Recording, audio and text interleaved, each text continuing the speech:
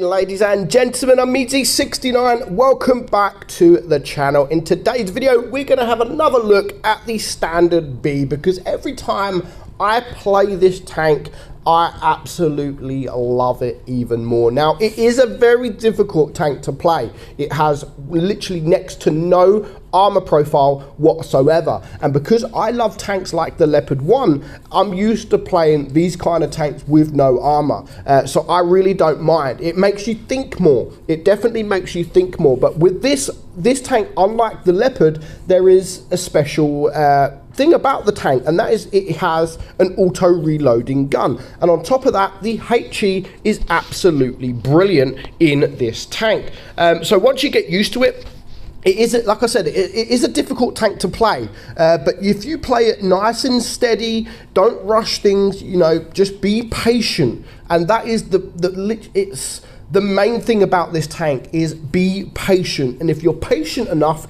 it will hopefully pay off for you. And that is what you've got to do. Uh, so we're going to watch two games, but we're going to have a quick look at the stats of the tank in case you've not seen it. Uh, we're not going to have a look at the armor profile because it's literally non-existent. 60 millimeters on the turret is the best you're going to get. Uh, however, the DPM, not great at 2,235. So for a medium tank, by all means, that is not good DPM, but because it has the auto reloading uh, gun, it doesn't matter so much. And again, with, with all auto loader, uh, auto loaders, sorry, auto reloaders, it all depends on the situation you're in as to whether you should reload one shell, two shell, three shell, or whether you should fire one, two, three, or fire one, reload, fire, reload. Uh, so it all depends on your situation that you're in. I always said, and I will always say, if you've got a target, then shoot then shoot it. Just doesn't matter if you've got one shell, two shells, or three shells. Even if you've only got one shell and you've got a target to shoot, then shoot it because a couple of seconds later you might not have that shot. So always take it if you need to. Um, if there is a tank, say on 500 hit points, then yeah, it might be best to reload two shells before you then start firing because you'll be able to take that tank out pretty uh, a lot quicker. Uh, so yeah, it all depends on the situation that you are in. So you do have a three seconds, uh, three second reload uh, between each shot. The auto reloading time for the first shell is 8.6, second shell 7.7, third shell 5.89. On top of that, you've got the three second intro clip as well, so do remember that. You've got three shells in your magazine. Uh, the penetration 252 on your APCR 325 on your heat. Now I am running this with calibrated shells. So all auto loaders or all auto reloaders, I would probably definitely recommend running it with calibrated shells rather than the vents because you just get more out of it. And 325 for a medium tank, I think is acceptable, especially as you will be coming up against tier 10 quite a lot. Uh, also, as I've said about the HE, the HE is absolutely fantastic for what it is. 116 millimeters. That is quite high for a medium tank, and that is the main thing I love about this tank. Uh, you've got a 350 alpha gun, uh, 300 on your heat, and 400 on your HE. So if you are able to get that HE out, if you do find yourself top tier against tier 8s, you're going to be able to HE a lot of these tanks. Uh, so of course, that will up your DPM as well. So the aim time is 3.4 not the best, uh, but the dispersion is actually very good at 0.293. It has also 10 degrees of gun depression and 58 kilometers per hour speed. So we've got two battles for you. We've got two battles. Now, I went and played just one game. You can see here I've played a load of different games. I had one game one game a couple of days ago, and that is all it needed because I just absolutely love the tank and played correctly. You can play this tank very, very well. But in first, we're going to have a game or we're going to watch a game from somebody else that does a little bit better than I did. Uh, but he is up against tier 10 and he is in a platoon with a Vickers uh, cruiser. So a light tank and a medium tank uh, together. Now, both of these, if you run it with another auto loader, other auto reloader, then you can destroy tanks very, very quickly, uh, very quickly indeed. And it's a lot of fun, a lot of fun running two tanks together with the same kind of tank like this, like there's two standard bees together, um, or even another auto loader or a auto reloader, it is kind of fun to run these in a platoon. Uh, so they are pushing towards the left side. The heavies are going kind of to the middle, which isn't the best of uh, choices for them. And as you can see, at the moment, they've come to this side of the map and uh, no one has been spotted. So that does not look good for the heavy tanks that have gone towards the middle side. They could be taken out very, very quickly. If the red team push, then these guys will not be able to do anything. But as it happens, there is a rogue E100 that is currently the only tank spotted this side of the map. You look at the mini map, all the red tanks by the cap area, and this poor E100 all by himself. It's not going to end well for this E100. However, he's still going to do as much damage as he possibly can before he's uh, before he's going to die. And as you can see now, the it, he I don't think he has the big gun, so he's not uh, a very good I don't know if he's a good player or not, but he doesn't last very long, and they do manage to take him out very quickly. But the E75 has gone down, and now you can see five tanks, at least five tanks all over there. There goes the Super Conqueror, and now this poor ST1 finds himself on his own. Now, if he does stay there, it won't be too bad because the heavy tanks are going to come and they will be able to shoot these heavy tanks because they're going to have some side shots. So as long as he stays here, but unfortunately the ST doesn't survive much longer. However, the enemy team are still spotted and he is able to get a couple of shots. He does have all three shells reloaded. Now he's going to back up. I would have just waited there for to get this last shell out, if I'm honest. I would have just waited there. But no, he's going to sit there. He's going to wait for the second shell, uh, and he is now spotted from the Patton. Uh, so he has lost a little bit of hit points. He's done 2,000 damage. It is a 4 versus 6, so it's not looking good for his team at the moment. Now, the Patton is there. This is where I would reload two shells, and he does just that. He doesn't bother reloading the three shells because he knows he can take him out with the two shells. So that is now one kill for him. There goes the 1-2B. So it is now a 3 versus 5, a 3 versus 4, and now the SU-122 is a one-shot, just 5 hit points, and he is now reloading loading, and there goes the Badger. So it's just him and his platoon mate against four. Now it is against three. So they could easily do this. If they work as a team, they could easily do this no problem whatsoever. However, there is still quite a lot of hit points to try and get through. The Motion is pretty much full hit points. Uh, the E75, I'm not sure what he's on, and the Object 268 is uh,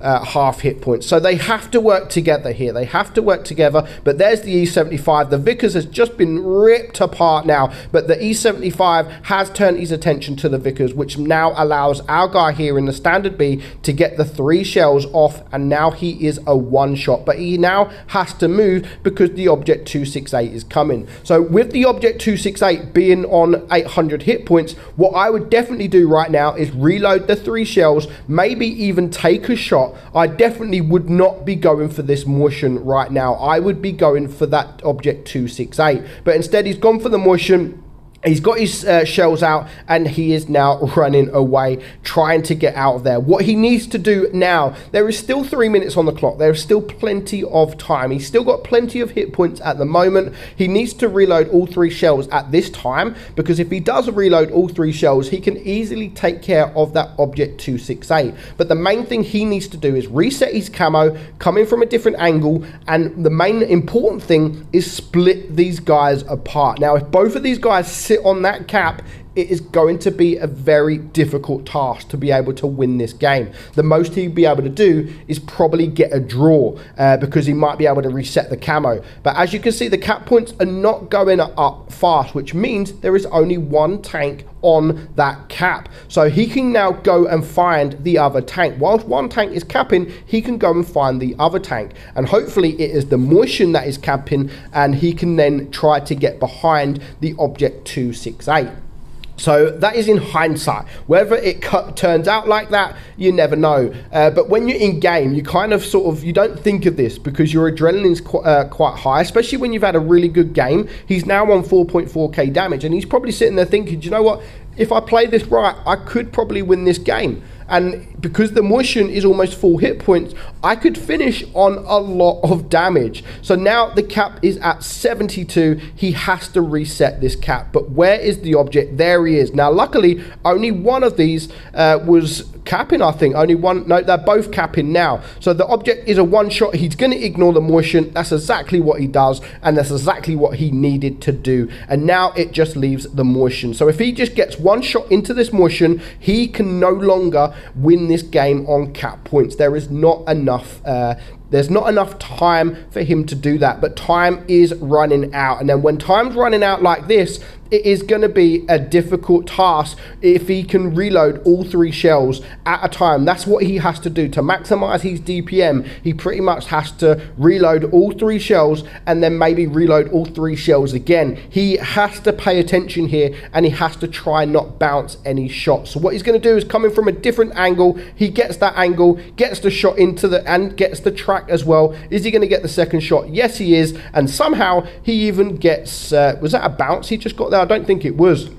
Uh, but he still bounced 460 damage this uh, this round, which is still a good job. So just 40 seconds left on the clock. He has to make his move. He can take a shot or two from this motion. You have to remember that. And sometimes you have to take a shot. Sometimes you have to risk it. And that is now what he has to do because I don't think he's going to be able to reload all three shells. If he does, if he pens them all, he won't have to. He might only just have to reload one shell. So he's got one shell left. He is going to get that shot. And with 15 seconds left on the clock, all he has to do is reload one shell. As long as he pens it, it should be okay. And that is exactly what he does. So very nice win there. It was very, very patient. And that is what happens in this tank when you are patient. And you have to be patient. If you're not patient, you're just going to get absolutely ripped apart. And it, he, he, it works for him. 7,300 damage. Absolutely remarkable job there. Uh, so now we're going to get into my game. We're going to get into my game. My only game this is my only game for this day, I think. I can't remember if I played anything else. Um, but yeah, this is what I mean. And I can do this regularly, and other people will be able to do this regularly. So we're just going to fast forward it because not a lot happens, to be fair. For the start of the game, not a lot happens. Um, but again, if you can use that HE, I mean, yeah, we failed that shot there, but we did manage to get the other two shots uh, into the standard B. If you can shoot HE, you'll be able to shoot HE at a, a lot of tanks tanks, especially in tier 8. If you can get behind them, if you can use that mobility to get behind them, then you will be able to do a lot more damage. I mean, you could do 400 plus damage per shot. And if you can get three shells out and do 400 damage, that's quite a lot of damage uh, for a medium tank. So you can see the Type 68 here, he's just getting ripped apart. Now, I am full hit points, but I am well aware that there are three tank destroyers on the enemy team. So we want to clear that Death Star, but he was looking directly at me and I do not want to take any chances with that Death Star. So we just tried to get that one shot out and then we are going to hide because he can just shoot me in the face and do up to 1600 damage. So yeah, we do not want to uh, to risk sitting out in the open in front of that Death Star. So now we are winning. We, I've got 2000 damage uh, not a lot so far. It is a four now, a four versus four. Uh, I, again, the Badger is another tank I really do not want to deal with. Now, seeing it as the Badger is somewhere else, the Type 68 has come around this side of the map. I will be able to deal with this guy without taking any shots or being uh, in any danger from that Death Star. So I, I really wanted to push that Type 68. I did that, and now I can relocate, reset my camo. I know that there is going to be a Badger coming in the middle. Now, there is just three tank destroyers left. A grill that can still do a lot of damage. The grill can do, even the grill can HE me in the face. The Badger will be able to H me, HE me in the face. So I need to be very, very careful. Now, seeing as I've got three shells and I've got nothing to shoot at, I might as well go for that bush where the last, where the Death Star was last spotted. But now the grill has spotted me. Now, we're not in any rush. Of course, we need to get the grill. We need to take care of him. But again, even coming up here, I'm a bit weary that the Death Star will be able to see me. As you can see, I am playing a, little bit safe and trying to reset my camo before I go up even more. So we're on 2.5k damage. I don't want to rush things because we're winning. We're winning on supremacy points. Uh, we're winning on, on, on cap points. You might as well wait and make them cause, uh, make the error. Uh, but I now have spotted the grill. There's two shots into him. There's the badger, so I don't want to go in front of him at all. So we're just going to back up. And again, if we go out, if I get shot from the grill, I could potentially be a one shot to the badger. So I need to play it safe. So that is now four uh, 4,500 damage, not 4,100, because I think we got a blind shot in on the Death Star. And as soon as I reload a couple of shells, we're just going to wait. There's the badger. He's going to come this way. No problem whatsoever. That means I'm just going to go the other way and take care of this grill. So we're going to come around, take care of him, and now we should be able to use our mobility to get behind this badger. Now, the first shot, God knows what happened there. That was absolutely poor, but we are just about to win on supremacy points, so I want to get as much damage before that as I can. So we're going to load up the HE, 430 damage at the rear of him, and it is now going to be game over. So we play that very very safe. You know we didn't do anything special but we we was patient we played it safe and we still managed to get 5,000 damage and a nice mastery badge. So the tank is definitely, definitely worth the grind. If you haven't grinded this tank, the whole line is a very good line to grind. A difficult line to grind, uh, but very, very good if you play them correctly. And I absolutely love the standard B. It is one of my favorite tanks in the game, one of the best tier 9 tanks in the game when played correctly, but when you play it wrong, then you will suffer in this tank. So I hope you enjoyed it. Let me know your thoughts on the Standard B. In my opinion, a brilliant tank when played correctly. Hope you enjoyed today's video, guys. Longer than usual, but you know, it doesn't hurt for a, a long video every now and again. Hope you enjoyed it. I'm Meadsy. There will be probably no video tomorrow because I just haven't had time to upload. Uh, so we're probably going to have a day off on Sunday and we will be back on Monday. So if not, I might do a, an OP replay for Saturday. Uh, so for Sunday evening. Uh, we will see. So I hope you enjoyed it. I'm Meadsy, and I will catch you all soon. Bye bye.